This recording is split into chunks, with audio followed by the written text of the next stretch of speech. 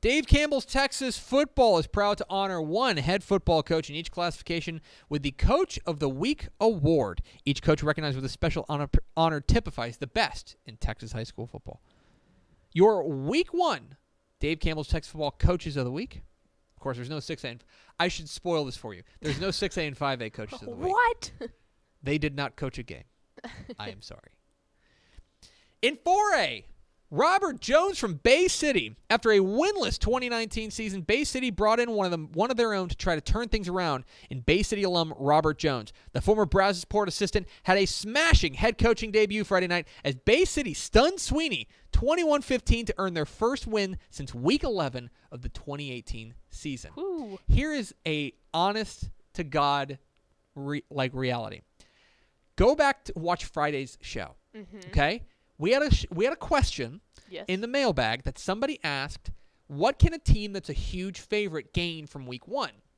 And I had some great com- comment about, "Oh, you know what? They can they just need to play a clean game, focus on them, stuff like that." uh-huh. And I was like, yeah, so if you're, and I'm looking over the computer rankings and I'm like, uh, or computer projections, I'm like, oh, okay, well, if you're Sweeny Yeah. and you're a huge favorite over Bay City, in my face, Coach Jones.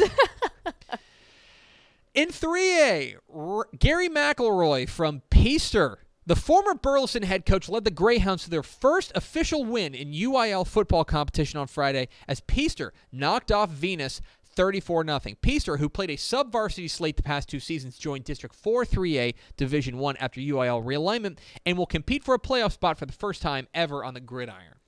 That game is the one that you took a one game lead on me in the uh, Pick'ems. In 2A, Jarryd Taylor from Ozona. Former Midland assistant and Ozona graduate Jarryd Taylor came home this offseason to his alma mater, and after one week, things are looking pretty good for the Lions. A 2A Division 1 program jumped up and knocked off 3A Division 2 area power Sonora with a 15 8 win to give Taylor his first win as a head coach.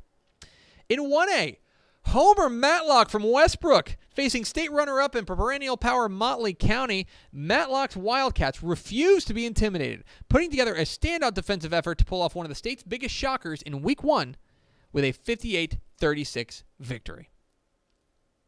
And in the private school ranks, Gary Rushing from Azle Christian. After a nip and tuck first half, Rushing and his staff made key adjustments at halftime, shutting out Waco Parkview in the second half and scoring the game's final 30 points to bring home a 66 30 season opening win. So those are your week 1 Dave Campbell's Texas football coaches of the week.